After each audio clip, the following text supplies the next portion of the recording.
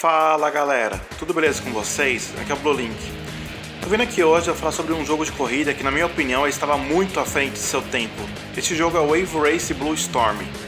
Para quem não sabe, esse jogo é um jogo de lançamento de GameCube, ele foi lançado junto com o console, e é o sucessor do jogo Wave Race 64, que foi lançado para Nintendo 64 em 1997. Wave Race Blue Storm foi lançado em 2001. Esse jogo ele era muito à frente de seu tempo, pois embora ele fosse apenas 30 FPS, os gráficos eram lindos e o sistema de física dele das ondas e do forma de interação dos personagens era muito complexo para o seu tempo, muito realista. Ao contrário da versão do Nintendo 64, que você tinha apenas ondas que eram formadas na frente do jogador o tempo inteiro, as ondas do Wave Race Blue Storm elas eram realistas e criadas por em tempo real conforme você ia jogando. Por causa disso, você poderia literalmente afetar o seu desempenho na corrida dependendo de como você pegava a onda. Se você surfasse na onda, você podia ganhar velocidade e se você fosse contra a onda, você podia perder velocidade. Então você tinha que analisar muito bem o cenário enquanto você estava correndo. O jogo ele tem um sistema de, bo de boinas que você tem que passar pelo lado correto para você poder avançar na fase. E se você errar cinco boinas, você é eliminado da corrida. É o mesmo sistema do Wave Race 64, mas com uma diferença. No Wave Race 64, você ganhava aceleração conforme você ia fazendo as boinas corretas e você perdia aceleração se você falhava uma das boinas. No Wave Race Blue Storm, você ganha um turbo se você passar por cinco boinas corretas, corretas em seguida. Além disso, você pode fazer alguns atalhos pulando as poinas, mas só que você vai perdendo. Se você perder 5, já era, você é eliminado. Então você tem que tomar cuidado quanto a isso.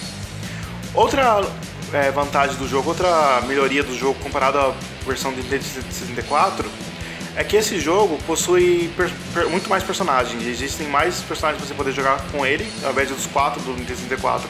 Você tem em torno acho que de 7, 8 personagens, não lembro certeza agora de cabeça.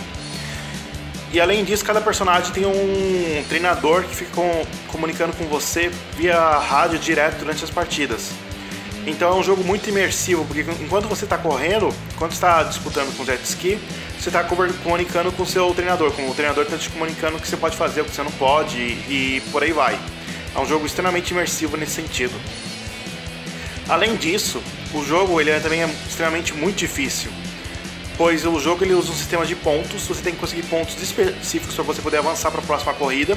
Se você conseguir menos do que esses pontos, você não avança. Então você tem que estar tá sempre tentando conseguir uma colocação boa na corrida para você poder terminar o torneio. Às vezes, mesmo você terminando em terceiro, quarto, não é o suficiente para avançar para a corrida seguinte, dependendo de como foi seu desempenho nas coisas anteriores. Outra coisa que faz o jogo se tornar muito difícil é que você pode cair do jet ski. E se você cair do jet ski, você vai levar uns 10 segundos para levantar de volta. Então, qualquer batida mais forte, qualquer fechada que um, um outro corredor faça em você, pode resultar em você batendo o jet ski, caindo no jet ski, perdendo a corrida e sendo eliminado da corrida e começar do zero a, o torneio. Além disso, as fases, o jogo tem poucas fases, tem em torno de 6, 7 fases mas o layout delas, a rota que você faz durante a corrida, muda conforme o nível de dificuldade. Então, por mais que, por exemplo, no normal você tenha cinco fases e são às vezes há fases que no hard, no normal a rota que você tem que fazer é diferente da rota do hard.